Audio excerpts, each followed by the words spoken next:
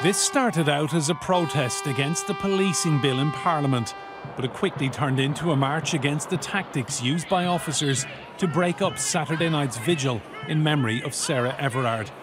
By the time it ended, the government had doubled the size of its Safer Streets Fund, aimed at improving lighting and CCTV the Prime Minister really, really wanted to show that we are listening and that we want to act to help women feel safe in our streets, which is why this investment will go on very practical measures like increase, you know, better lighting, more CCTV to try to give people that confidence that we really, really want to instill uh, after last week's terribly, terribly sad events. At Clapham Common, more and more tributes have been left at the bandstand, just a few streets away from where Sarah was abducted we don't just need legislation, we need a kind of a UK wide, a worldwide culture change. So much needs to change the way that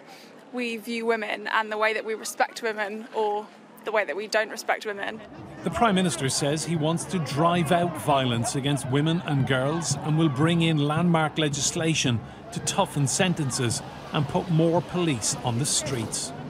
Saturday night's events in Clapham are now the subject of a review by the Police Inspectorate, ordered by the Home Secretary, who has also urged the public not to attend any further vigils because of the pandemic.